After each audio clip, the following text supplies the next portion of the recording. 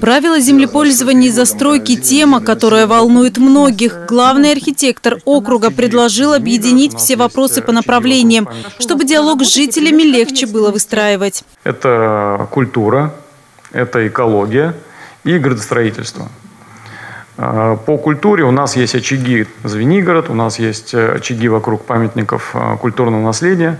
По экологии это УПТ, это долина реки Москва, это лес. Экологи опасаются, если природоохранные территории попадут под застройку, это приведет к нарушению экобаланса. В случае их застройки, как э, предполагал до этого генеральный план, но в ПЗ это, к счастью, не вошло, могут пострадать э, а, место обитания редких а, видов животных и растений. Сегодня мы пригласили жителей, которые заранее озвучили вопросы, которые их волнуют.